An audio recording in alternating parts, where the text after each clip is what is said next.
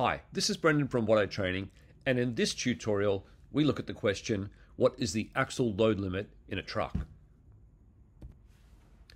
The axle load limit for a truck varies depending on several factors, including type of road and specific vehicle configuration. Generally, axle load limits are set to protect road infrastructure from excessive wear and damage. National Heavy Vehicle Mass and Dimension Limits, Fact Sheet July 2016. The Heavy Vehicle National, National Law, HVNL, provides general mass limits, GML, concessional mass limits, CML, and higher mass limits, HML, for heavy vehicles operating on the national road network.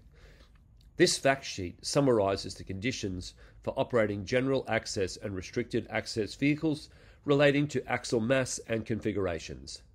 High productivity vehicles such as B doubles and HML vehicles are important to the efficiency of the freight task in Australia. The larger capacity of these vehicles also reduces the number of vehicles required to transport a given amount of freight.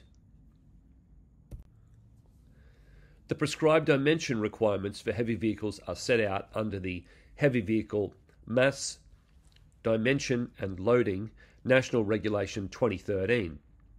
The information contained within this fact sheet has been extracted from the regulation. And if you go to the NHVR website, you can access the fact sheet. Okay, so this diagram shows a couple of possibilities for the rear axle on this truck.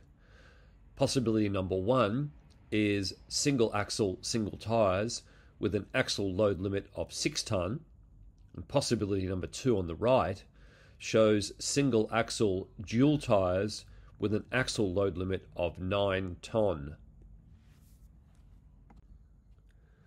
For more information about the NHVR, you can go to www.nhvr.gov.au and the details are shown in the slide.